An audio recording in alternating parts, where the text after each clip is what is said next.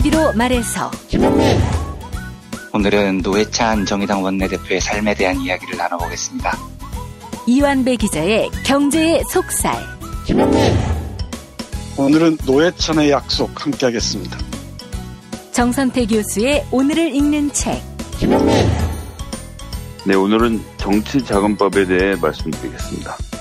김성애 보좌관의 답정너 네, 오늘은 노회찬 원내대표에 대한 언론의 보도 문제와 종편 특혜 환수 움직임에 대해서 말씀드리도록 하겠습니다. 정상근 기자의 오늘 미디어 김용민 브리핑 잠시 후 시작합니다.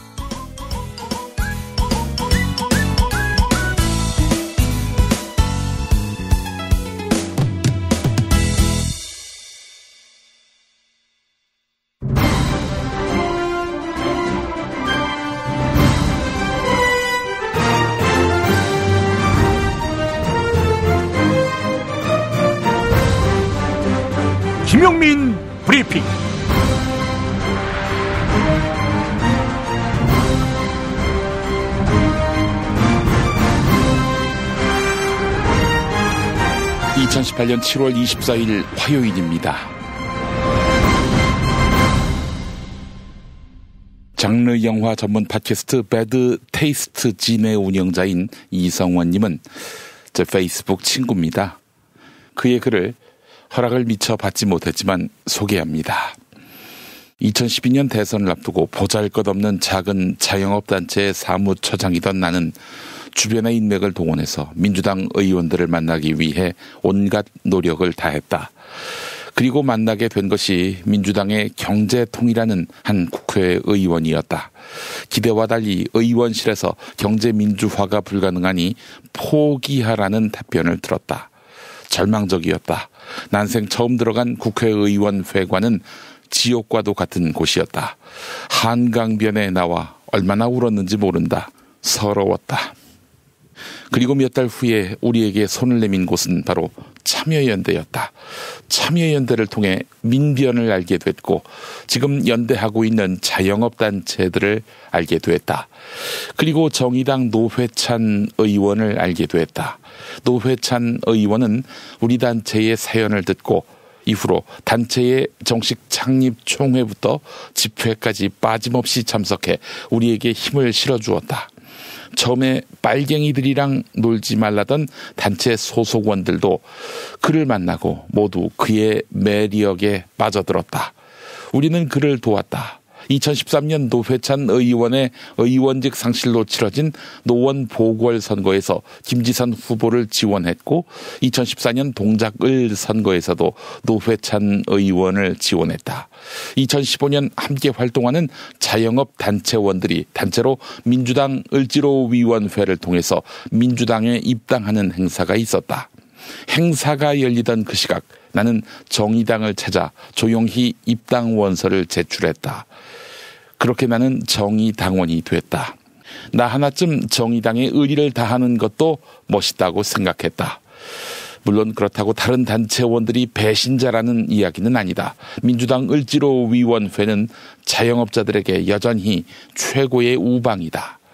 나는 NL이니 PD니 그런 개파에 속한 사람이 아니고 대학생 시절 단 한 번도 학생운동에 참여한 경력도 없는 그냥 그런 후진 사람이다. 하지만 정의당 입당은 그동안 우리가 힘들 때 우리를 도왔던 사람들에 대한 도리라고 생각했다. 그 이후로 나는 정의당 당적을 유지하고 있다. 주변에서 메갈당이라고 부르고 페미 꼴통당이라고 불러도 내 당적에는 비어남이 없다. 그와 살아생전 단 한 번도 소주 한 잔 함께한 적이 없지만 불 꺼진 사무실에 앉아 그에게 한 잔을 올린다. 고마웠어요. 그리고 나는 여전히 정의당 당원이에요. 네, 여기까지입니다. 노회찬 의원의 유서 내용 중에 가슴을 치는 부분은 이겁니다. 사랑하는 당원들에게 마지막으로 당부한다. 나는 여기서 멈추지만 당은 당당히 앞으로 나가길 바란다. 모든 허물은 내 탓이니 나를 벌하여 주시고 정의당은 계속 아껴 주시길 당부드린다. 네. 그가 극단적인 선택을 한 데에는 자기보다 진보 정치의 앞날, 자기보다 정의당의 앞날 때문이었을 것입니다. 그것을 모르지 않기 때문에 오늘 우리의 슬픔은 더욱 클 수밖에 없습니다. 이성호님은 떠난 노회찬 의원이 어떤 말을 했을 때 가장 위로받을 수 있을까 잘 아는 분 같습니다. 그의 생전 소주잔을 같이 기울여 보진 못했지만 무엇으로 오늘 참 좋은 정치인 노회찬의 죽음을 애도할까 고민하며 김용민 브리핑을 만들어 보았습니다. 광고 듣고 시작하겠습니다. 다이어트는 결국 먹는 게 문제다! 문제긴 하지. 매끼 식단 챙기기도 번거롭고 빼도 금세 다시 찌고. 아, 아직도 몰라? 비타샵 다이어트를 해봐. 안 그래도 궁금했는데 어떻게 뺀 거야? 몇 개월 한 거야? 몸에는 안 나빠? 물어 뭐래. 비타샵 가봐. 같이 해. 1522-6648 혹은 비타샵을 검색해 주세요. 운전자를 위한 꿀팁 7,000원 운전자 보험 카페 알고 계세요? 교통사고가 나면 형사합의금, 벌금, 변호사 비용. 이거 자동차 보험에서는 보장 못해요. 운전자 상해까지도 책임져 드리는 7,000원 운전자 보험 카페. 버스, 택시, 트럭 등 영업용 차량 운전자를 위한 12,500원 운전자 보험 카페도 있습니다. 실손, 부모님 건강, 자녀 보험도 안내해 드립니다. 02849-9730. 연중 무휴라 언제든 02849-9730.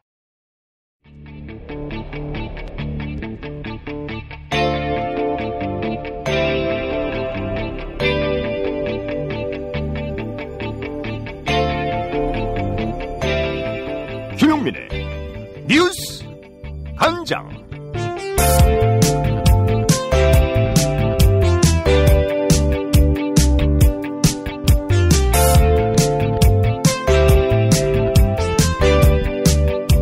오랜 기간 투쟁해온 KTX 승무원 노동자들에게 축하의 인사를 전한다.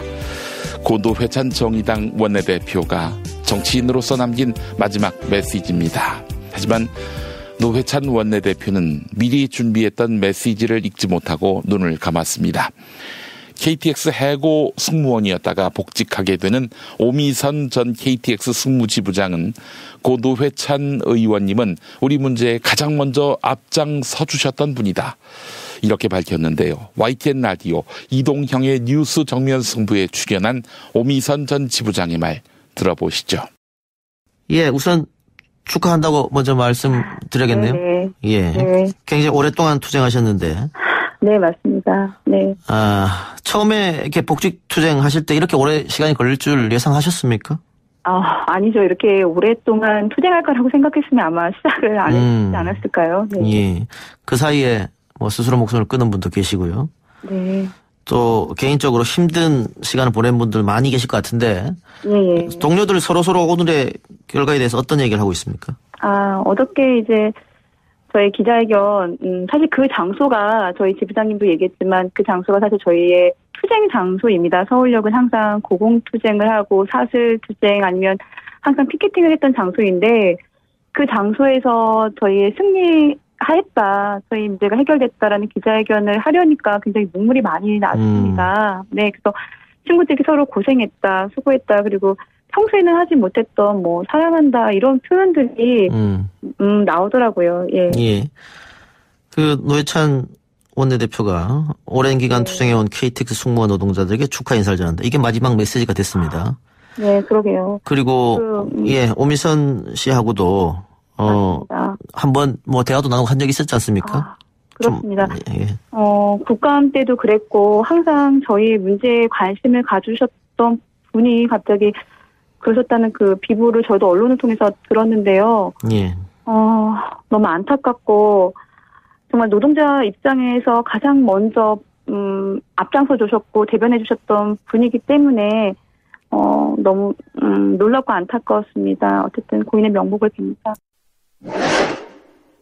드루킹 사건을 조사하는 허익범 특별검사가 노회찬 정의당 원내대표의 비보에 유감을 표했습니다. 앞서 노회찬 원내대표는 드루킹 김동원 씨 측으로부터 5천만 원대 불법 정치 자금을 받은 혐의로 특검의 수사 대상에 올랐는데요. 반복되는 검찰 특검의 피의 사실 공표 그리고 별건 수사가 다시 도마 위에 올랐습니다. 검사 출신인 더불어민주당 백혜련 대비원님의 말 들어보시죠. CBS 라디오 시사자키 정관용입니다. 일부입니다. 사실 어, 다선 정치인이 되면 상임이나 이런 데서 어, 소선이나 재선보다는 좀 더 열정이 떨어지는 모습이 보입니다. 근데 어, 노회찬 의원님께서는 다선 정치인임에도 불구하고 항상 상임에 굉장히 열정적으로 임하셨습니다. 항상 그 일관된 자세로 사회적 경제적 약자의 편에 서시는 활동을 하셨고요. 작년에 제가 상임위에서 굉장히 기억에 남는 것이 어, 직접 신문지로 그 교도소의 재소자들의 열악한 상태를 표현하시기 위해서 어, 신문지로 그 평을 이렇게 계산을 하셔서 까시 그 위에 직접 눕고 이런 시연하는 모습까지 예, 예. 예, 뵀던 것이 눈에 선합니다. 교도소의 그 좁은 공간을 신문지 몇 장 깔아놓고 그 위에 네. 직접 누웠던 그 모습을 말씀하시는 거죠? 그렇죠. 국민들께서도 그때 굉장히 많이 보시고 어, 박수 많이 쳐주셨던 것으로 기억합니다. 네.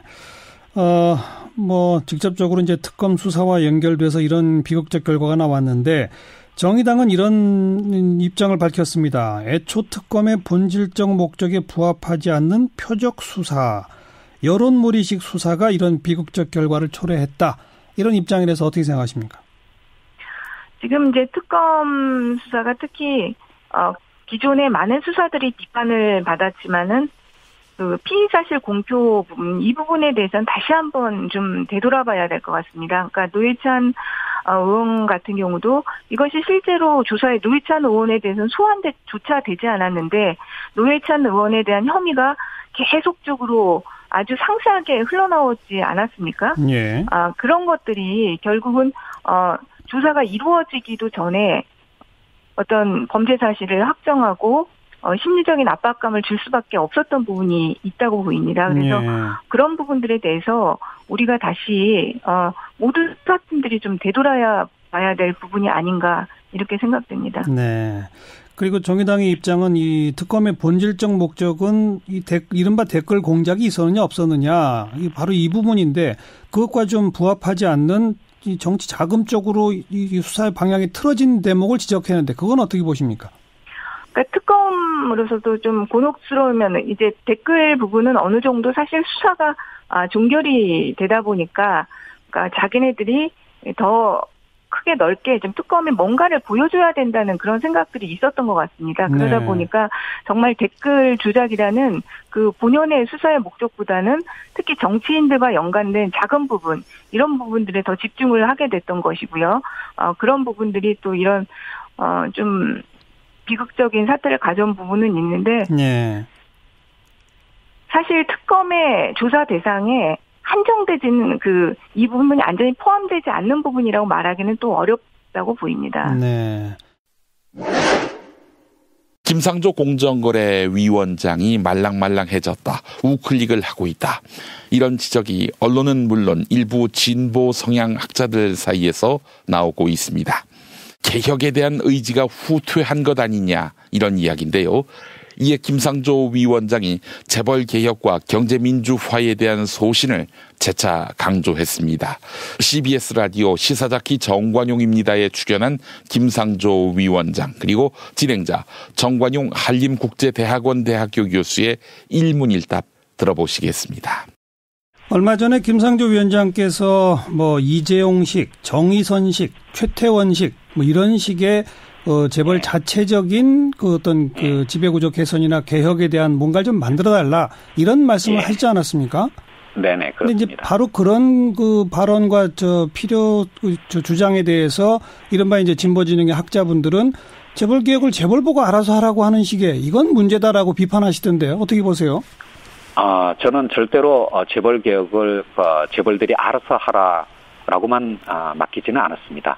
아, 아까도 말씀드렸다시피 지난 1년 동안은 공정위가 가진 현행과 법령하에 행정력으로 할 수 있는 어떤 조치들 어, 예컨대 일감 몰아주기에 대한 조사와 제재도 어, 열심히 했고요. 예. 어, 그 결과 이미 시장에서는 비가역적인 어떤 변화가 나타나고 있다라고 생각합니다. 뭐 그 대표적인 어, 증거 중에 하나가 사실은 법령의 개정 없이도 기존 순환 출자의 상당 부분이 해소되어서 이제 순환 출자 문제는 역사의 뒤안길로 사라졌다고 저희들은 평가를 하고 있습니다. 예. 아 그리고 어, 저는 재벌 개혁이 예컨대 지주회사 제도의 자회사 지분율을 현행 20, 40에서 30, 아, 30, 50으로 상향 한다든지 또는 일감 몰아주기의 기준을 뭐 퍼센트를 어떻게 조정하는 그런 방식의 법령적 수단만으로 어, 이루어지는 것은 아니라고 생각합니다. 네. 지배구조 개선의 핵심은 의사결정자들이 어, 늦지 않게 적절한 타이밍에 결정하고 그 결정에 대해서 책임을 지는 제도와 현실 관행을 만들어내는 데 있다라고 생각하고요. 바로 그런 점을 강조하기 위해서 이재용 부회장, 정미선 부회장 등이 자신의 이름으로 빨리 결정을 내리고 그 결과에 대해서 책임을 지라고 어, 아하. 저희들이 아, 뭐 부탁의 말씀을 드린 거였습니다. 저는 그것이 바로 재벌 개혁의 핵심이라고 생각을 합니다. 네. 그, 뭐, 진보 진영이 너무 조급한 거 아니냐라고 하는 반응에 대해서 그 당시 제가 이제 전성인 교수와 연기, 그, 인터뷰를 했는데 오히려 문재인 정부가 조급하다. 예. 그래서 대표적인 사례를 예. 그 당시에 이 자동차 왜 소비세 깎아주는 그 정책을 발표하지 예. 않았습니까? 예. 그거는 결국은 미래에 있을 소비를 그냥 앞당겨서 잠깐 경기 진작만 시킬 뿐이고 그 혜택은 현대차가 가져가는 거고 나중엔 결국 그 소비가 어, 나중에 있을 소비가 미리 땡겨지는 거기 때문에 경제에는 큰 효과도 주지 못한다. 이런 정책을 쓰는 것이 문재인 정부의 조급증이다라고 비판하던데 어떻게 보십니까? 뭐 개별 소비세 조정을 통해서 어 단기적으로 소비를 진작하는 그런 정책을 핀 과거의 사례도 많았고요. 그러니까요. 어, 그런 어떤 정책은 우리나라에서만 하는 게 아니라 사실은 경제가 어려울 때는 다른 선진국에서도 많이 하고 있는 정책 수단들입니다. 예. 뭐 그런 것 때문에 문재인 정부의 어떤 조급증을 비판하신 거는 조금은 저는 과잉되었다라고 생각을 하고요. 제가 말하고 싶은 것은 바로 이 부분입니다. 네. 예를 들어 2012년도에 아, 정말 우리 사회에서 경제 민주화 열풍이 최고조로 올라왔을 때 아, 당시에 민주당이 총선과 아, 대선에서 연달아 패했습니다. 예. 도저히 수 없는 어떤 환경 속에서 두 번의 선거를 연달아 졌거든요. 그 이유가 뭘까라고 하는 거에 대해서 우리가 특히 어, 진보 개혁 진영이 좀 어, 회고를 해볼 필요가 있다라고 생각을 하고요. 네. 물론 재벌 개혁과 경제 민주화라고 하는 것이 포기할 수 없는 개혁의 원칙이자 목표이지만 그것 자체가 공허해서는 안 된다라고 생각을 합니다. 즉, 어, 개개 국민들의 삶의 질의 어, 개선이 이루어질 수 있는 것을 예. 체감할 수 있도록 만들어가는 것이 필요하다고 생각하고요. 예. 그런 부분에서 저는 재벌 개혁이나 경제 민주화가 그동안 아, 블랙박스로 남겨두었던 부분들을 열어 젖혀서 그 속에서 발생할 수 있는 여러 가지 이해관계의 충돌에 대해서 우리가 진지하게 논의하고 대책을 마련하는 그런 과정이 이어져야 된다고 생각을 합니다. 네.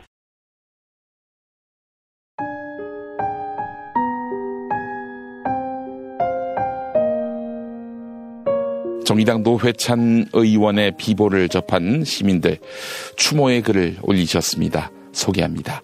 취조 반장님, 국민의 편에 서 있던 또 하나의 별이 지고 말았습니다. 그곳에선 편히 쉬고 계실까요? 매국노 없는 세상님, 정말 답답합니다. 언제까지 이런 비극이 반복돼야 할까요? 팥죽 팥죽 11님, 진보 진영에서 소중한 사람을 잃었습니다. 삼성과 싸우다가 너무도 많은 내상을 입었던 노회찬 의원님, 지켜드리지 못해 죄송합니다. 라고 하셨고, 재용 먼저 승태 먼저님, 고 노회찬 의원님의 명복을 빕니다. 너무도 깨끗한 분이라서 자신의 티끌을 스스로 용서하지 못하셨네요. 아직 의원님이 하실 일이 많이 남았는데 너무나 허망합니다. 라고 하셨고, 엄마 배님 충격입니다. 죽어 마땅한 놈들은 버젓이 살아있는데요. 너무 아깝고 슬픕니다. 라는 의견 남겨주셨습니다. 감사합니다.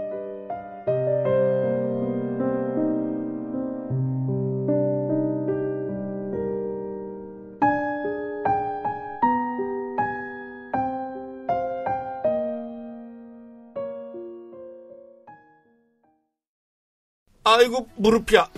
아, 주사도 맞고 무릎 보호대도 이것저것 써봤는데 효과가 없네. 무릎펜 몰라? 무릎펜? 무릎펜이라고 이번에 새로 나온 무릎 관절 보호대야. 우리 부모님도 무릎펜 사용하시고 운동하는 재미에 푹 빠지셨어. 어, 디서 살 수 있어? 네이버에서 무릎펜을 검색 후 쇼핑몰에서 구매하시고 상담은 010-2255-4489 최 과장을 찾아주세요. 골반 잡자 바로 잡자 바디로직. 허리 통증 바로 잡자 바디로직. 몸매 교정 바로 잡자 바디로직. 자세가 좋아지는 골반 교정 타이즈 바디로직 검색창에 골반 교정 바디로직 삐딱한 남성 골반 허리에도 역시 바디로직입니다. 바디로직의 효과를 못 느끼셨다면 100% 환불해드립니다. 자세한 환불 조건은 홈페이지를 참조하세요.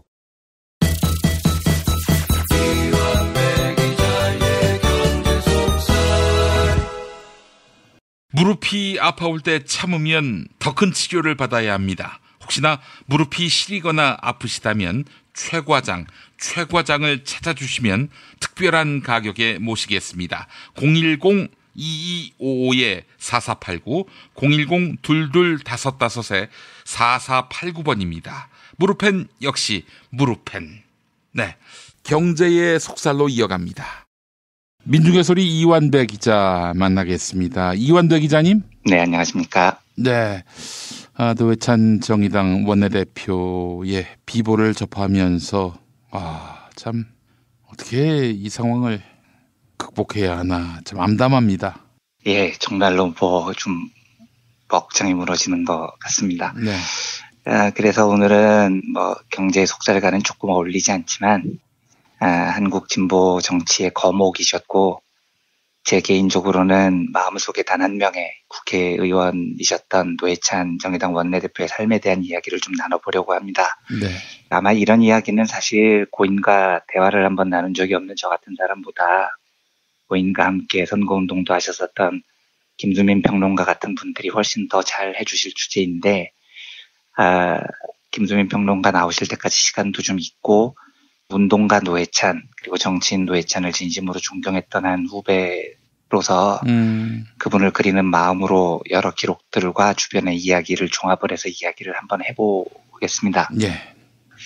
저는 개인적으로는 고인과 한 번도 대화를 나눠본 적이 없는데 사실 노 의원을 굉장히 가까이서 오랫동안 본 적은 있었습니다. 그러니까 아마 고인께서는 저를 전혀 기억 못 하시겠지만 1995년에 제가 학생단체에서 일을 할 때 제가 속했던 학생단체 사무실이 동대문 운동장 앞에 있었거든요. 아주 허름한 건물 2층이었는데 음. 같은 층 바로 옆 사무실에 진보정당 추진위원회 줄여서 당시에는 진정추라고 많이 불렀습니다만 그 진정추 사무실이 바로 옆에 있었어요. 그리고 당시 진정추 대표가 노회찬 의원이셨습니다. 그래서 거의 매일 얼굴을 뵀었죠.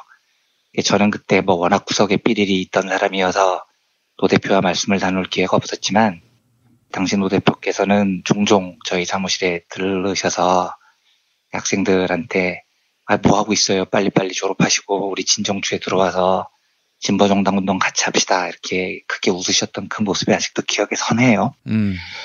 아, 근데 제가 이제 이번에 노회찬 의원의 삶을 이야기를 할 게 앞서서 하나만 먼저 좀 이야기를 하겠습니다. 이번에 벌어진 사건 자체를 저는 잘 몰라요. 그래서 이번 사건에 관한 말씀을 드리고 싶은 게 아니고요.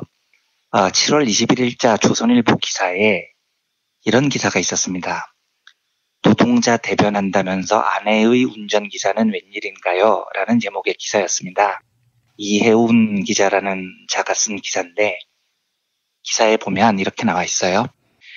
노회찬 정의당 원내대표가 드루 킹 김동원 씨의 측근 도모 변호사에게 5천만 원을 건네받은 혐의가 보도되자 지지자들이 배신감에 휩싸였다. 돈을 받았다는 사실만큼 돈을 받은 경로도 화제가 된 것. 특검팀에 따르면 도 변호사가 뭐 어쩌고 저쩌고 쭉 쓰다가 나머지 3천만 원을 노 원내대표 아내의 운전기사를 통해 전달한 것으로 보고 있다. 이렇게 적었더라고요. 음. 그리고 그 기사 리드에 따옴표를 치고 집안에 아내 전용 운전기사가 있을 정도면 재벌 아닌가. 이런 사람들이 노동자를 대변한다. 이렇게 따옴표로 기사를 시작을 합니다. 그런데 그 노회찬 원내대표 비서실장인 김종철 실장의 페이스북을 보면 이런 반론이 적혀 있어요. 아, 이게 21일, 그러니까 토요일에 올라온 반론이던데, 그 내용을 한번 그냥 읽어보겠습니다.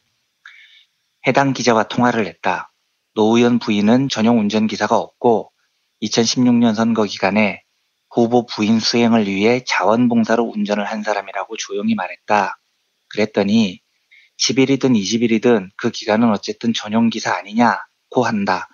잠시 말문이 막혔으나 정신을 가다듬고 기사에 쓴 전용 기사가 그런 의미냐고 따지고 게다가 돈을 주지도 않고 자원봉사로 운전을 한 사람이라고 했더니 돈을 안 준 게 더 문제 아니냐며 적반하장으로 나오면서 돈을 줬든 안 줬든 전용 기사라고 우긴다. 자원봉사자에게 돈을 주면 선거법 위반이라는 걸 알기나 하는 건지 세상에 전용 기사 개념이 새로 생긴 것 같다. 선거 때 후보 배우자 수행을 위해 선거 운동원이든 자원봉사자든 도는 경우가 많다고 했더니 자기가 국회의원 보좌진으로 일했는데 그런 경우 별로 없다고 한다. 이 근자감은 또 뭔가? 게다가 이건 칼럼이라 자기 생각을 쓰는 건데 뭐가 문제냐고 한다. 허허허. 조용히 문제 제기하고 해당 부분만 수정하려고 했으나 언론중재위 든 뭐든 조치를 취해봐야겠다. 생각나는 대로 막 쓰는 게 기자가 아니라는 걸 보여줘야겠다. 이렇게 썼습니다.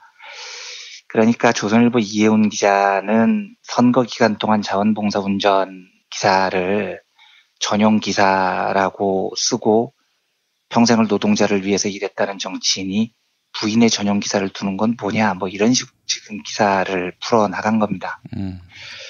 아 이렇게까지 해야 되겠습니까? 참 제가 이 공방을 보다가 이제 오늘 그 노회찬 의원의 부고 소식을 듣고 정말로 참담합니다. 이렇게까지는 서로 하지 않았으면 좋겠습니다. 아무리 진영이 달라도요. 진본 정당 후보의 가족은 그 바쁜 선거 기간을 맞아서 이동을 할 때 누군가가 차를 태워주면 그 차를 타면 안 되냐고요. 그게 조선일보 눈에는 전용 운전기사를 둔 거고 그래서 그걸 재벌이랑 다를 바가 없다 이렇게까지 표현을 해야 되겠습니까? 이 악랄한 보도가 그 재벌에 비유했던 그 보도가 평생을 재벌과 싸워오셨던 고인의 마음에 얼마나 상처를 줬을지를 생각을 하면 참 뭐라고 표현이 안 되는 거죠. 이렇게까지는 하지 않았으면 합니다. 지금부터는 그 노회찬 의원의 삶에 대해서 여러 기록들을 종합을 해서 제가 하는 이야기들을 드릴 텐데요. 예. 국회의원이 되신 이후의 삶은 많이 보도가 됐으니까 그 부분보다도 진보정당 운동을 하실 때 또 노동운동을 하실 때 이런 이야기들을 중심으로 말씀을 드리겠습니다. 노회찬 의원께서 부산 출신이십니다. 음. 조금 잘 안 와닿죠. 왜냐하면 대부분 경상도 출신 분들이 성인이 돼서도 경상도 억양을 잘 버리기가 어렵잖아요. 그런데 노회찬 의원은 부산 억양을 잘 안 쓰시는 편이죠. 음. 그 이유가 아버님께서 북한 출신이시라고 합니다. 아. 비료 공장 노동자 하셨는데 징병으로 끌려가셔서 고생을 하셨고 한국 전쟁 때 부산으로 피난을 내려와서 초량동의 산동네 판자촌에 정착을 하셨다고 해요. 그래서 노 의원의 억양이 완전 부산 말씨가 아니라고 합니다. 그러니까 북한 억양을 쓰셨던 아버님 말투와 지역의 말투가 중화가 돼버린 거죠. 초량동의 산동네 판자촌에 어린 시절을 보냈는데 누님 한 분과 남동생 한 분이 있어요. 그런데 그 판자촌에서도 방 한 칸에서 새를 들어서 사셨다고 해요. 예. 근데 이 부산 중학교를 졸업했는데 부산 고등학교 그 당시에는 이제 시험을 칠 때였으니까요. 여기 떨어지십니다. 그래서 재수를 하셔서 고등학교로 서울로 진학을 해요. 중학교 때까지만 부산 생활을 하시고 그러면서 이제 더더욱 부산 억양이 지금은 좀 많이 안 드러나는 이유인 것 같습니다. 그 노회찬 의원께서 살아생전에 인터뷰를 하는 걸 보면 그 아버님 이야기를 참 많이 합니다. 근데 아버님께서 상당히 문화예술 쪽에 관심이 많으셨다고 해요. 아, 그래서 예. 방에 한 칸에서 두 칸으로 늘어났을 때 아버님께서 제일 먼저 하셨던 일이 암시를 만드신 거라고 하더라고요. 오. 그러니까 사진을 많이 찍으신 겁니다. 그래서 직접 암실에서 인화를 하시고 그러니까 노 의원께서는 아버님이 정말로 예술적으로 멋진 분이셨다. 그분 덕에 삶은 가난했지만 정신적으로 풍요로웠다. 이렇게 회고를 합니다. 예, 예. 그리고 노 의원이 중학교 들어갔을 때 아버님께서 밥 먹기 전에 너도 이제 중학생이니까 이런 걸 들어야 한다. 이러면서 베토벤의 운명을 들어주시는 그런 멋진 분이셨다고 아, 합니다. 예, 예. 그리고 좀 이게 뜻밖이실 수도 있는데 노 의원이 첼로를 어렸을 때부터 배웠다고 합니다. 그러니까 이 부모님께서 자라나는 아이가 악기 하나는 다룰 줄 알아야 한다는 굉장히 선진적인 생각을 가지셨던 거죠. 그런데 그 첼로를 배울 때는 이제 거의 뭐 무료로 배웠다고 하시는데 왠지 이 이야기를 자주 하시지는 않으셨어요. 왜냐면 첼로가 좀 노동운동과 이미지가 잘 안 어울리죠. 아까 조선일보가 퍼뜨린 마타도어처럼 노동운동하고 진보운동하는 사람은 첼로 하면은 좀 부르주아처럼 보이고 이런 오해가 있는 겁니다. 그래서 이 이야기를 자주 안 하셨다고 해요. 그런데 실제로는 첼로 연주를 꽤 좋아하셨다고 합니다. 그리고 재수를 해서 서울 경기고등학교로 진학을 했고요.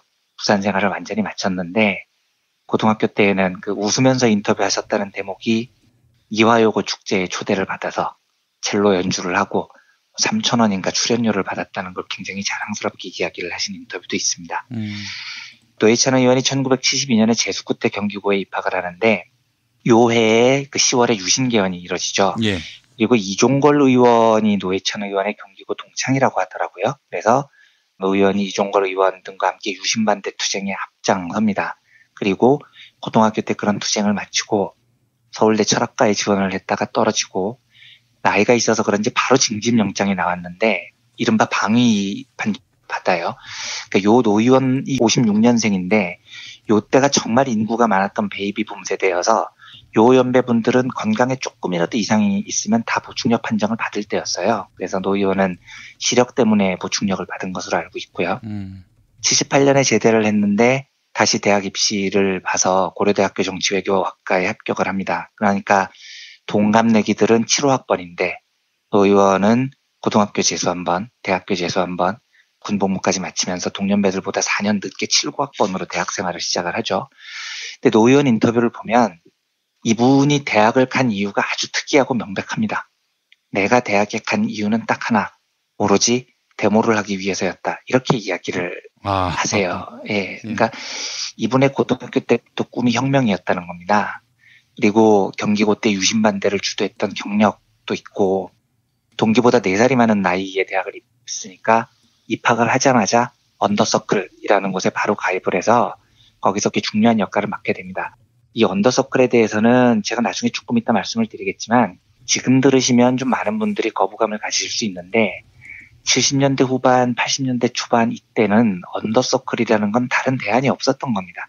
공개된 장소에서 뭔가 운동을 할 수 있는 현실이 아니었어요. 언더서클을 하지 않는 게 불가능한 상황이었습니다. 그래서 나중에 이 언더서클이 노의원뿐만 아니고 전체 진보 진영에서도 큰 이슈가 된 적이 있는데 이 이야기는 뒤에서 다시 드리겠습니다만 언더서클이라는 건 그 시대의 시대 상황이었다는 걸 좀 이해해 주셨으면 합니다.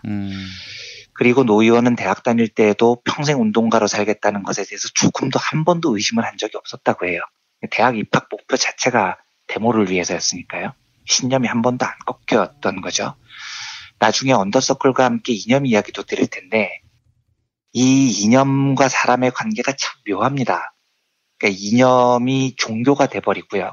이걸 교조적으로 받아들이는 절대선 같은 게 되면 이게 사람의 성격에 따라서 결합을 잘못하면 아주 이상한 결과물이 나올 때가 많습니다. 그런데 반대로 운동의 동력이 이념, 그러니까 종교화된 이념이 아니고 현실 혹은 민중 이렇게 시작을 하면 그리고 그 현실적인 문제를 해결하기 위해서 이념을 차용하고 공부를 하는 수단으로 사용을 하면 이런 사람들은 변절하지 않아요. 그러니까 노 의원은 이념이 교조가 아니었던 거죠. 종교가 아니었던 겁니다. 노 의원에게 이념은 현실과 민중을 변혁하기 위한 수단이었었던 겁니다. 그러니까 이분은 평생 운동가의 삶을 버리지 않았던 거죠. 평생 운동가로 살기로 결심했던 노 의원이 1982년에요. 전기 용접 기능사 2급 자격증을 따요. 그래서 실제로 노동자 삶을 시작합니다. 위장 취업이라고 하죠. 그리고 학출이라고도 불렀는데 학생운동 출신 노동운동가가 되는 겁니다. 그리고 인천에 있는 현대정공 하청공장에 취업을 하는데 요때 3년 동안 노동자로 일하면서 받았던 월급이 국회의원이 되기 전까지 노 의원이 받았던 인생에서 유일하게 정기적으로 월급을 받았던 때였다고 합니다. 그리고 실제로 이 시기가 80년대 초반이 학생운동 출신들이 대거 노동운동 현장에 뛰어든 시기였어요. 그래서 이때 농담이 학출 출신 노동운동가가 만 명은 될 거다 뭐 이런 이야기가 나돌 때였습니다. 그런데 노 의원은 경력으로 보나 능력으로 보나 그 조직에서 상당히 중책을 맡았고요. 당연히 3년이라는 노동자 생활이 빨리 끝나죠. 수배 생활이 시작이 됩니다. 그래서 7년 동안 수배를 받고 도망을 다니게 됩니다.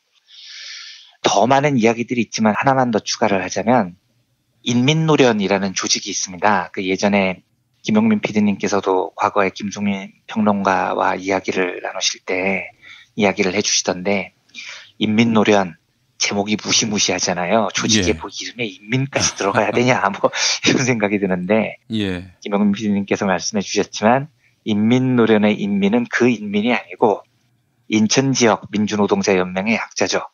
그래서 이 조직은 정확하게 말하면 인천 지역의 학출, 학생운동 출신 노동운동가들의 조직이었어요.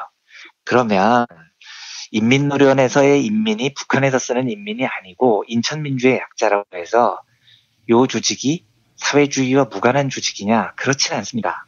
인민노련이 물론 당시 정파적 구도로 보면 상당히 실사구시적인 조직이긴 했어요. 그래서 정통사회주의를 주장했던 조직들로부터 야 이 개량주의자들아 뭐 이런 욕도 많이 먹었는데 예.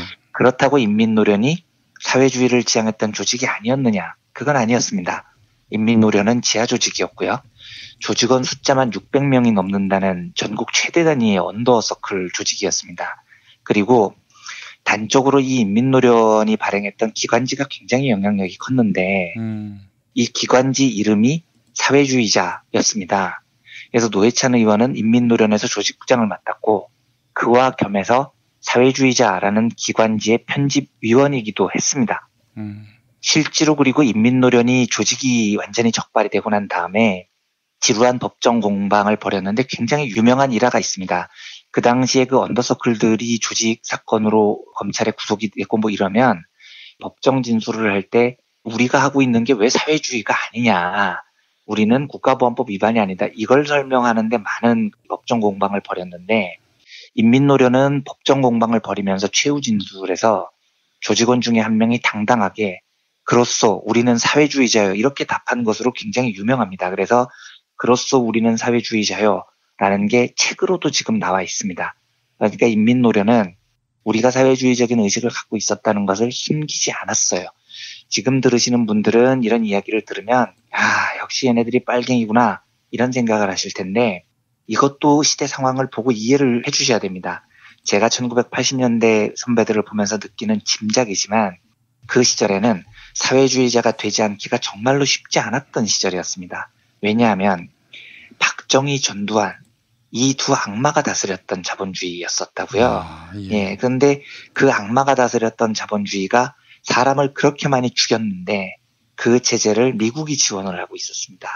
그렇다면 이 악마의 세상을 뒤엎을 대안을 고민을 할 때 지금의 이 악마 진영의 반대 진영에서 대안을 찾을 수밖에 없었던 거예요. 통제된 정보 속에서요. 예.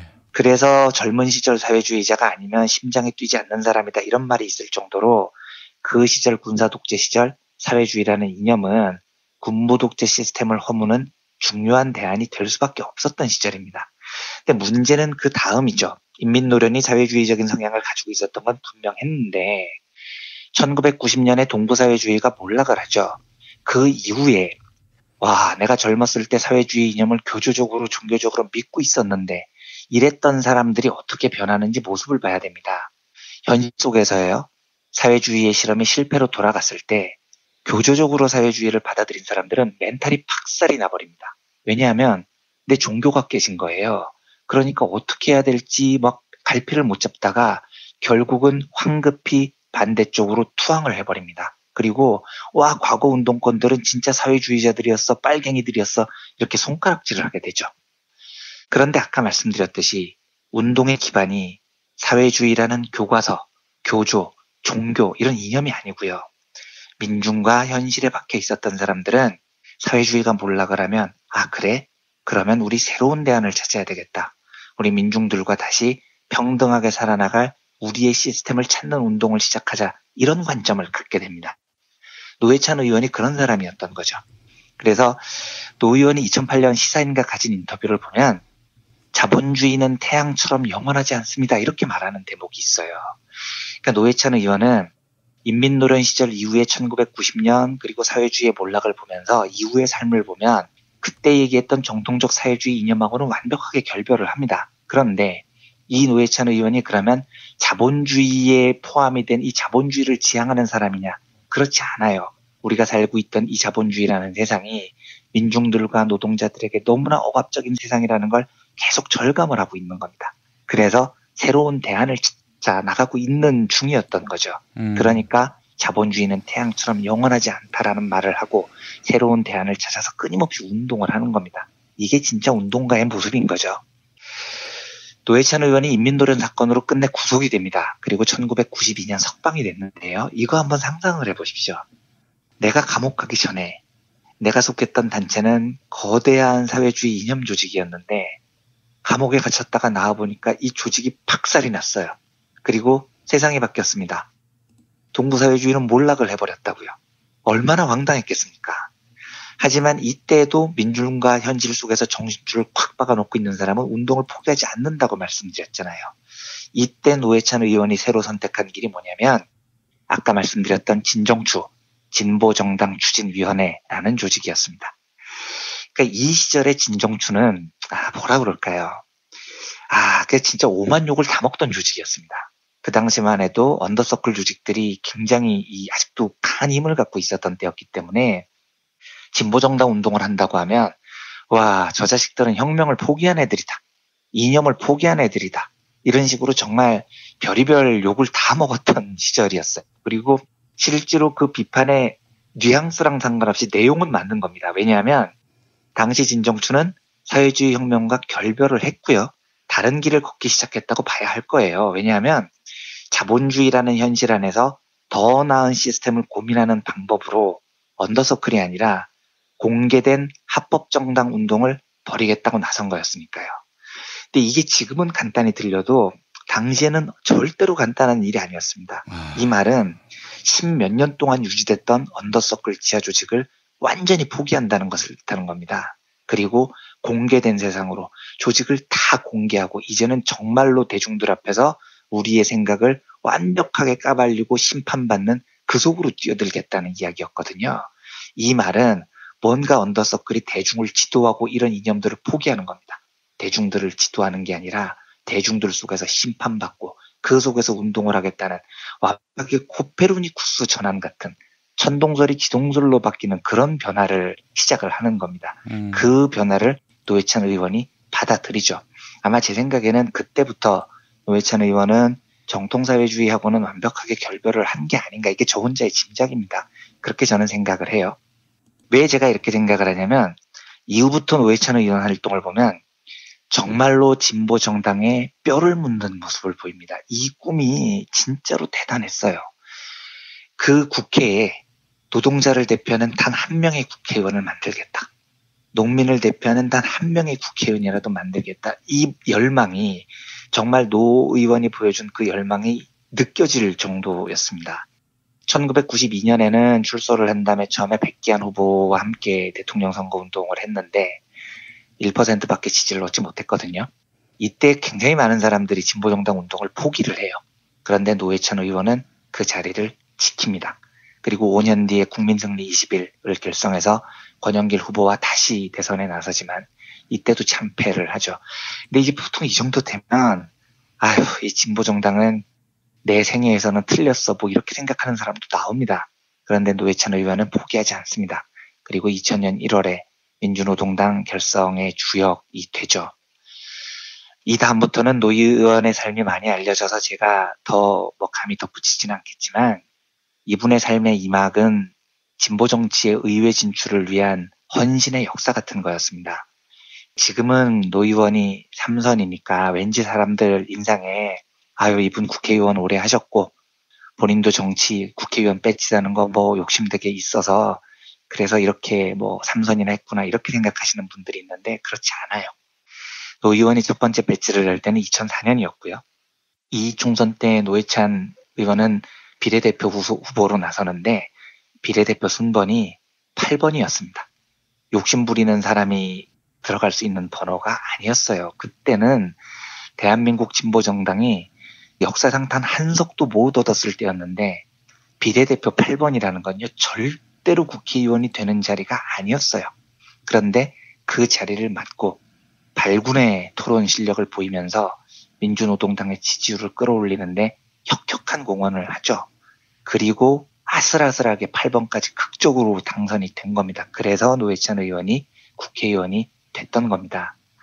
그러니까 지금의 진보 정당이 갖고 있는 여러 뭐 질곡의 역사도 있고 자산들도 있지만 그 여러 정치적 기반들은 저는 굉장히 많은 면에서 노회찬이라는 한 진보 정당의 꿈을 가졌던 헌신적인 활동가가 남긴 그늘의 결과라고 생각합니다. 많은 빚을 우리가 노회찬 의원에게 지고 있는 거죠. 아, 마지막으로 이제 기자들이 노회찬 의원에게 왜 이런 일에 평생을 바치셨나요? 라는 매우 진부한 질문을 많이 던졌는데 그 질문에 대한 노회찬 의원의 살아생전 답을 전해드리면서 오늘 방송을 마치겠습니다. 그분의 답이 이랬어요. 한 사람이 평생에 한 가지 일만 추구해도 이루기 힘든데 어떻게 여러 가지 일을 하겠습니까? 학창 시절에 결심한 대로 이 사회의 약자와 빈자의 권익을 위해 일생을 바치겠다는 저 자신과의 약속을 지킬 뿐입니다. 예, 이렇게 이야기를 하셨습니다. 평생을 약자와 빈자의 권익을 위해서 일생을 바친다는 약속을 지키셨죠. 그 노희찬 의원이 어제로 삶을 마감하셨습니다. 저는 부디 아, 어제 가셨던 그곳이 노희찬 의원께서 평생을 헌신하시면서 이루고 싶어 하셨던 꿈, 그러니까 약자와 빈자의 권익이 살아 숨쉬고 평등하고 아름다운 세상, 그래서 평생을 함께 투쟁해왔던 노동자들과 민중들이 차별받지 않고 형제 자매처럼 지나는 그런 세상에 도착하셨기를 소망합니다. 그리고 그곳에서 편안하게 쉬시기를 바랍니다. 그분을 우리는 진보 정당의 가장 든든했던 버팀목으로 기억할 거고 제일 강건했던 동, 동지로 잠시만요. 죄송합니다. 아, 잠시만요. 죄송합니다. 네. 그분을 우리는 진보정당의 가장 든든했던 버팀목으로 할 거고 어, 가장 강건했던 동지로 잊지 않고 기억하고자 합니다. 부디 평안하시기를 기도하면서 어, 오늘 방송 마치겠습니다. 네. 어, 이원배 기자님, 아, 수고하셨습니다. 네, 감사합니다. 부모님의 생신 또는 기념일에 아주 특별한 선물을 준비하고 계십니까? 부모님의 소중한 일생을 되돌아볼 수 있는 기억의 책을 선물해 보세요. 부모님의 어린 시절부터 젊은 시절, 그리고 노년에 이르기까지 그 누구보다 치열하게 살아온 삶의 여정을 한눈에 모아볼 수 있도록 최고 100장까지 들어가는 사진첩과 더불어 기자들이 직접 인터뷰를 통해 작성하는 생애사까지 더해져 오직 부모님만을 주인공으로 하는 세상에 다시 없을 고품격 기억의 책을 10년 노하우로 특별 제작해드립니다. 200페이지 분량 12권에 2부까지 함께 드리는 구성으로 440만원에 모십니다. 한평생 가족을 위해, 자녀를 위해 헌신해 오신 부모님. 아주 오래 기억에 남을 뜻깊은 선물. 지금 신청해 보시죠. 평범한 사람들의 아주 특별한 기록. 기억의 책 만민보. 문의 전화 1877-1419 1877-1419 민중의 소리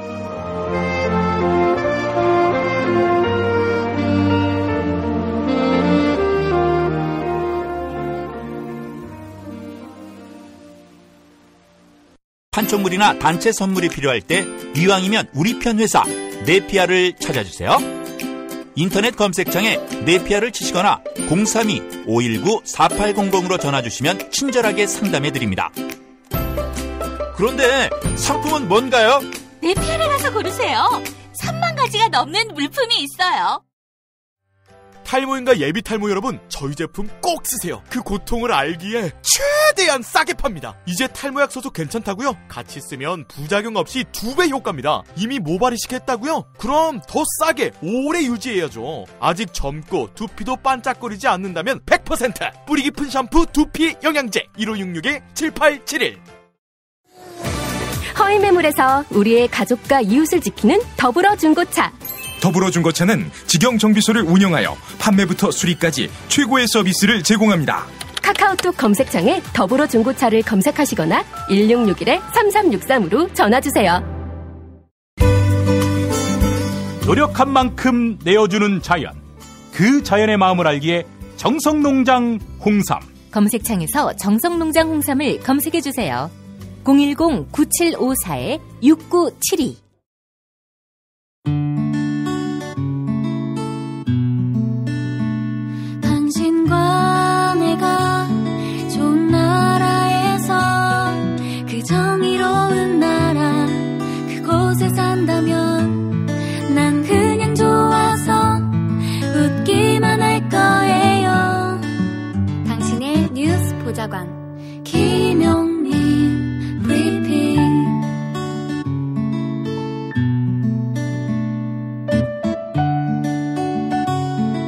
대한민국 뉴스 브리핑의 선두주자 김용민 브리핑. 계속해서 김보영 아나운서가 오늘의 날씨를 전해드립니다. 날씨를 전해드리겠습니다. 오늘도 종일 맑은 날씨가 이어지겠고 햇볕이 강하게 내리쬐겠습니다. 아침 기온은 서울과 대전 26도, 춘천 25도, 부산 26도입니다. 낮 기온은 서울 36도, 대전 35도, 광주 36도, 대구 37도로 예상됩니다. 미세먼지 농도는 전국에서 보통 단계를 나타낼 전망입니다. 여기는 대한민국 브리핑 1번지 김용민 브리핑입니다.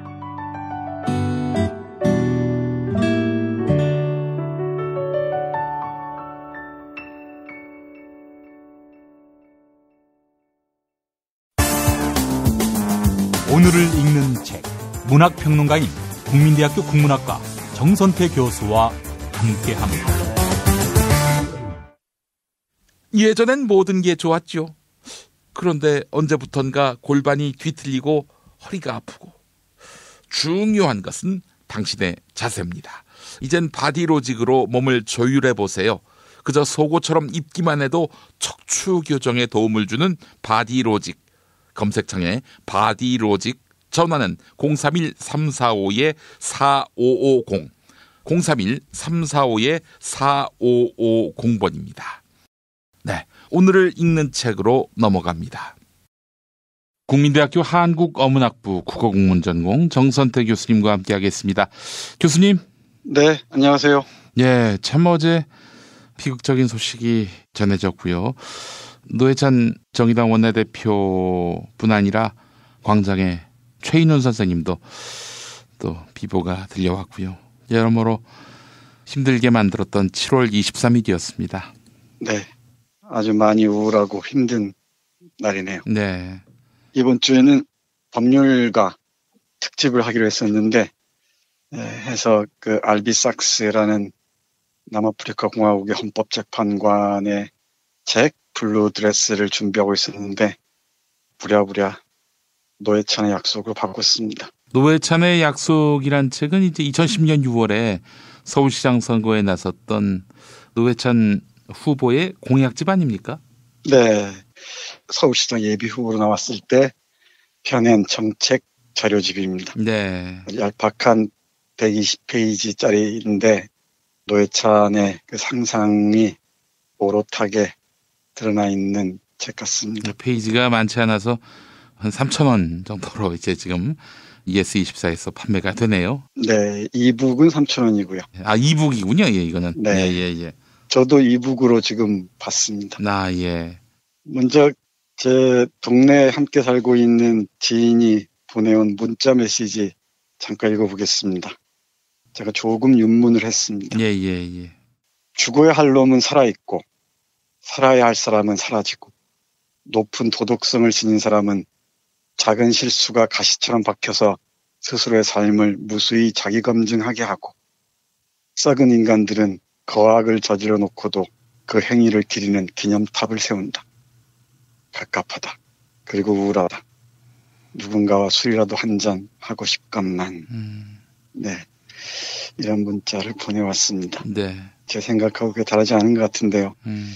오물을 뒤집어 쓰고도 비열하게 잘만 살아가는 자들이 있는데 얼굴이 철판 깔고 말이죠. 네. 이 조그만 흠집 때문에 그걸 견디지 못하고 자기 모든 것을 걸어버린 한 위대한 정치인을 오늘 잃었습니다. 제가 이런 말 하는 게 어울릴지 모르겠는데, 예, 사랑하고 존경하는 정치인, 거의 유일했던 것 같습니다. 네. 인간성과 도덕성, 그리고 정치력을 겸비한 보기 드문 정치인이었고, 여기에 유머 감각을 장착하고 아주 날카로운 풍자를 선보였던 우리 시대의 탁월한 정치인을 잃었습니다.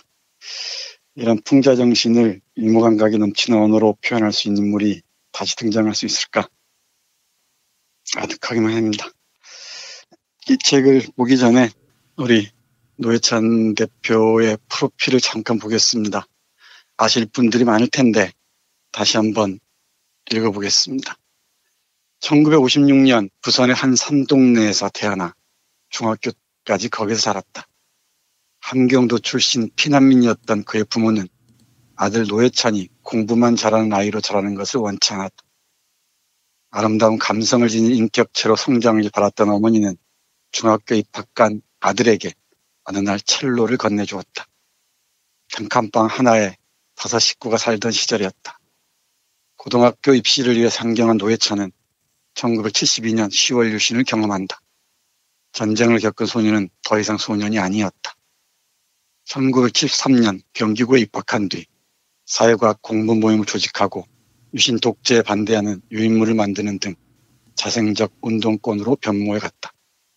1976년 고려대 정예과 입학, 유신 말기 상황 속에서 학생운동의 한계를 깨달아가던 그는 1980년 5월 광주 항쟁을 거치면서 인생의 전환기를 맞는다. 경제를 떠받치는 노동자들이 앞장설 때 세상을 근본적으로 바꿀 수 있다는 깨달음 때문이었다. 1983년 고려대 졸업식과 영등포 청소년 직업학교 졸업식 날은 공교롭게도 같은 날이었다. 이미 노동자로 살기 위해 용접 기능사 2급 자격증을 딴 그는 기꺼이 직업학교 졸업식을 선택했다. 과학적 사회변혁 운동 1세대의 출현은 그렇게 시작되었다. 1987년 6월 10일 인천과 부평 노동 현장 한복판에서 인천 지역 민주노동자 연맹의 창립이 선포되었다. 그것은 전국적인 노동자 정치 조직의 본격적인 시작을 알리는 사건이었다. 합법적 진보 정당 운동을 모색하던 그는 1989년 공안 당국에 의해 검거, 구속되고 1992년 만기 출소한다. 여기까지가 노회창 인생의 일기라면 석방 후의 삶은 이기에 해당한다. 그리고 그것은 한국 진보 정당 운동의 본격적인 시작과 발전의 시간들과 정확히 지한다. 네, 이렇게 이어지고 있습니다. 음. 고등학교 다닐 때부터 유신 독재에 저항하는 학생 운동을 조직했다는 것, 황교안이라는 인간과 비교해서 많이 이게 됐었죠. 그리고 그 이후 광주 항쟁을 계기로 해서 인생의 전환기를 맞이한다고 하고요. 뭐 수많은 감옥살이도 우리가 익히 하는 바와 같습니다. 제 짧은 생각에는 변신을 일삼는 기회주의자들이 판치는 이 정치판에서 우리 사회가 다가가야 할 곳이 어디인지를 가리키는 이정표 역할을 했던 사람이 바로 노회찬이 아닌가 생각합니다. 예. 일관성과 도덕성을 갖추고 살기가 참 쉽지 않을 텐데 그럼에도 약자의 편에서 끊임없이 발언하고 사회적 약자의 편에서 또 어떤 삶을 시작할 것인지 고민했던 한 사람이 소중한 정치가 사라졌습니다. 저는 이 노회찬의 죽을 보면서 우리 사회가 미필적 고의에 의해서 또 어쩌면 치밀한 고사작전에 의해서 노회찬은 살해했다고 생각합니다. 어, 삼성 엑스파일 사건은 익히 알 겁니다. 그 이후에 전계에 떠나 있을 때 병공무라는 사악한 집단의 그 모의에 말려들었던 것 같은데 하, 왜 우리가 이렇게 멍하니 노회찬의 죽음을 지켜봐야만 하는지 참 난감하기 데가 없습니다. 어쩌면은 이 저열하고 악의적인 말을 영양분으로 해서 살아가고 있는 자들에게는 노회찬의 죽음이 어쩌면 시원해 보일지도 모르겠습니다. 음. 또다시 어쩌면 이 비난 자들은 어디선가 낄낄거리며 환호성을 지르고 있을지도 모르겠습니다. 이 눈의 가시였던 삼성에 특히 그럴 테고요. 그리고 진보 세력의 방향에 대해서 끊임없이 딴질 걸었던 우리 사회 속속들이 박혀 있는 이 기득권 세력들, 뭐 언론이든 교육이든 어느 곳이든 정치는 물론이고요. 이 독보석 같은 그들의 행태를 생각하면은 뭐라고 분노의 언어를 표현할 길이 없습니다. 이 책으로 잠깐 돌아가 보겠습니다. 노회찬의 약속을 펼쳐보면은 머릿말격으로 노회찬이 직접 쓴 2010년 5월 종로에서라는 byline이 달려있는 노회찬의 사인과 함께 있습니다. 나는 꿈을 꿉니다. 라는 글 읽어보겠습니다. 예. 대학 서열과 학력 차별이 없고 누구나 원하는 만큼 교육받을 수 있는 나라. 비정규직이라는 이유로 차별받지 않는 나라. 인터넷 접속이 국민의 기본권으로 보장되는 나라. 그리고 무엇보다 모든 시민이 악기 하나쯤은 연주할 수 있는 나라. 토머스 모어는 고작 하루 노동 시간을 6시간으로 줄여놓고 그 섬을 존재하지 않는 섬, 유토피아라 불렀지만 나는 그보다 더 거창할 꿈을 꾸지만 꿈이라 여기지 않고 있습니다. 이 꿈을 놓지 못하는 것은 현실 가능성이 크기 때문도 아니고 그 꿈이 너무 아름다워 포기하기가 어렵기 때문도 아닙니다. 그 꿈 이외에는 대안이 없기 때문입니다. 우리는 행복해지는 것을 두려워하지 말아야 합니다. 이미 그 꿈은 나의 곁에, 우리 모두의 곁에 와 있습니다. 그 아름다운 미래의 선택은 우리의 몫입니다. 이 책은 진보의 봄을 기다리는 모든 사람들이 가야 할 곳을 가리키는 나침반이자 우리 곁에 다가올 새로운 사회에 대한 사용 설명서입니다. 꼼꼼히 읽으시고 까칠하게 따져보다 보면 우리들의 꿈은 어느덧 곁에 다가와 있을 것입니다. 모자란 것은 서로의 지혜로 채워넣고 힘이 부족하면 서로 어깨를 걸어야만 합니다. 그렇게 지혜와 의지를 나누어야만 합니다. 네. 네. 이렇게 나는 꿈을 꿉니다. 라는 글에서 얘기하고 있습니다. 예. 조금만 더 해보겠습니다. 이 시작하는 글은 꿈을 꿉니다에 이어서 크게 세 챕터로 나눠져 있습니다. 아이와 엄마가 행복한 서울, 그리고 콘크리트 이제 그만 사람에게 투자를, 그리고 노예천 이렇게 하겠습니다. 세 부분으로 나뉘어 있는데요. 세세한 부분을 보니까 그래요. 지금 우리 사회가 가는 방향을 정확하게 제시하고 또 상당 부분이 현실화한 것을 알 수가 있습니다. 대표적인 게 친환경 무상급식을 부탁해 이런 것이나 그리고 내 집 앞에 국공립 어린이집이 온다. 정말 그 논쟁적인 논제들을 이미 이때 제시했던 것 같습니다. 그리고 꼴찌도 행복한 학교, 그리고 모두를 위한 대학, 작은 도서관, 작은 공원, 집을 사지 않아도 되게 행복한 서울, 한강 살리기, 생명 살리기, 뭐 하나하나 빠뜨릴 수가 없습니다. 이 공약을 무슨 선거용으로만 내세우는 자들과는 질적으로 전혀 다릅니다. 꿈들이 현실화하는 과정을 지켜보지 못하고 먼저 보내야만 하는 게 뭐 이렇게 안타까울 수가 없습니다. 개인적으로 모르는 분이지만 그리고 어떤 뭐 정치적인 경향성에 대해서 전적으로 동의하지도 않지만 우리 사회에 이런 논쟁적인 인물을 그리고 대단히 이성적이고 합리적이면서도 유머 감각을 잃지 않는 풍자 정신으로 무장한 이런 정치인을 잃었다는 건 왠지 모르게 허전해서 견딜 수가 없습니다. 남은 우리들이 해야 할 일은 노회찬이 왜 죽어야 했는지를 꼼꼼하게 따져보고 생각하는 일일 테고요. 그리고 그가 남긴 이런 정치적 자산들을 어떻게 이어가야 할지 고민을 해야 되지 않을까 생각합니다. 마지막으로 뭐 많은 사람들이 보셨을 줄 압니다만은 노회찬 대표가 남긴 유서 중 하나 함께 읽어보겠습니다. 예. 2016년 3월 두 차례 걸쳐 경공모로부터 모두 4천만 원을 받았다. 어떤 청탁도 없었고 대가를 약속한 바도 없었다. 나중에 알았지만 다수 회원들의 자발적 모금이었기에 마땅히 정상적인 후원 절차를 밟아야 했다. 그러나 그러지 않았다. 누굴 원망하랴. 참으로 어리석은 선택이었으며 부끄러운 판단이었다. 책임을 져야 한다. 무엇보다 어렵게 여기까지 온 당의 앞길에 큰 누를 끼쳤다. 이정미 대표와 사랑하는 당원들 앞에 얼굴을 들 수 없다. 정의당과 나를 아껴주신 많은 분들께 죄송할 따름이다. 잘못이 크고 책임이 무겁다. 법정형으로도 당의 징계로도 부족하다. 사랑하는 당원들에게 마지막으로 당부한다. 나는 여기서 멈추지만 당은 당당히 앞으로 나가길 바란다. 국민 여러분 죄송합니다. 모든 허물은 제 탓이니 저를 벌하여 주시고 정의당은 계속 아껴주시길 당부드립니다. 2018년 7월 23일 노회찬 올림 네 이렇게 적었습니다. 예. 사람에 대한 깊은 관심과 인문학적 감수성이 풍부했던 한 정치인을 보냅니다. 다시 한번 있을 때 잘했어 했는데 라는 후회가 정말 밀무처럼 밀려옵니다. 노회찬이 어떻게 살아왔는지 다시 한번 꼼꼼히 따지면서 우리 사회가 어떤 방향으로 가야 할지 힘을 또 모아야 할 줄 압니다. 저들이 오물을 뒤집어 쓰고도 비열하게 개주의적으로 살아온 과정들 한번 뒤돌아 보십시오. 엄숙한 윤리를 감당하기가 얼마나 힘겨운지를 보여주는 이 사람 앞에서 우리 정치판은 무슨 얘기를 할지 한번 똑똑히 지켜봐야 할 것 같습니다. 미안합니다만 더 이상 말을 못 읽겠습니다. 여기서 마무리하겠습니다. 네. 저서태 교수님 말씀 감사합니다. 네, 고맙습니다.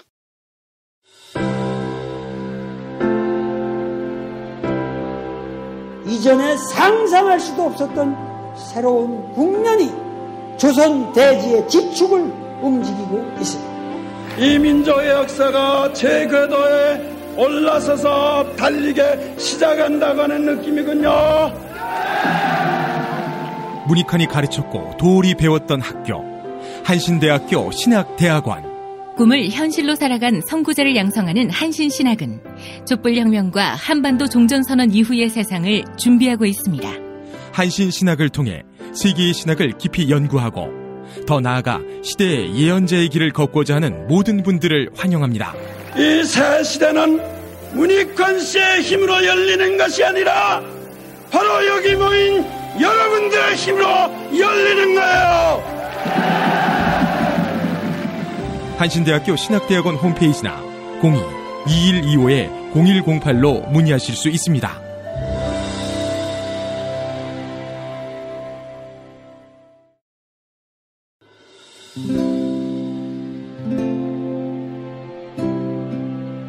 우리가 목사님은 우리 남북 관계에 있어서도 큰 정기를 마련해 주셨습니다.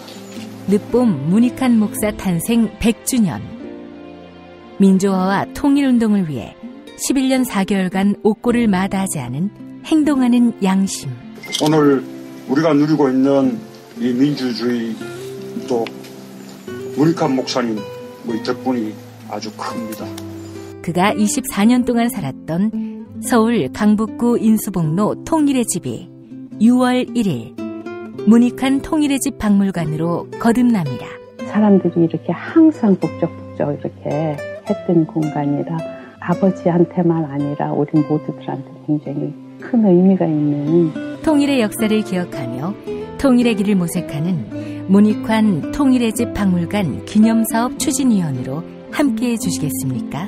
이건 단지 어떤 유가족들의 유산이 아니라 우리 시대가 가지고 있는 유산이기 때문에 자세한 안내는 포털 사이트에서 문익환 통일의 집을 입력해 주세요.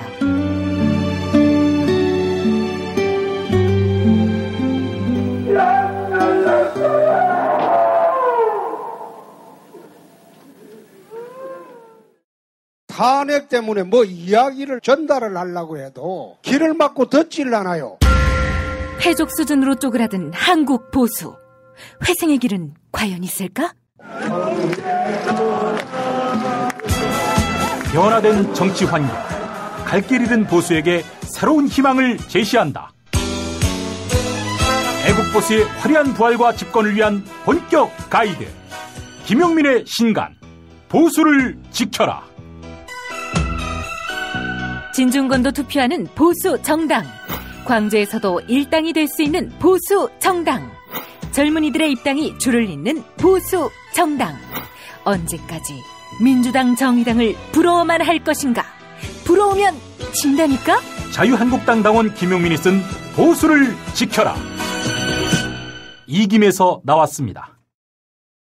뉴스기 능력평가 정답 맞히신 분들 소개합니다. 어제 문제는 지구 그림자의 달이 가려지는 현상을 뭐라고 부르는지 맞히는 거였죠. 정답은 개기월식입니다. 정답자 촉강아지 부리던님, 다음 정답자 도시리님, closing 사연 당첨자는 우연에는 용기를 님입니다. 게시판에 이메일 적어주시면 올인원 향수비누 헤이브로 올인원 파워바를 보내드립니다. 유재일 정치평론가의 페이스북 글을 소개합니다. 에른스트 만델이 그랬다지 미래 가봤냐고 혁명이 끝났냐고 어떻게 확신하냐고 청춘의 끓는 피로 진보를 품고 역사 발전과 인간 해방의 믿음으로 이 험한 세상을 살다간 노회찬 눈물이 그치지 않는다. 그의 청춘은 얼마나 뜨거웠을까? 그가 겪어야 했던 세속 정치는 그에게 어떤 지옥이었을까? 이 땅의 모든 이의 친구가 되고자 했던 이가 또 쓸쓸히 떠났다. 뭐라고 하지 않을 걸. 그 심약한 사람이 이러지도 저러지도 못하는 걸 다그치지 말 걸. 좋은 사람이었다, 노회찬. 고마웠습니다. 편히 쉬십시오. 일부 들어주셔서 감사합니다. 2부에서 다시 오겠습니다.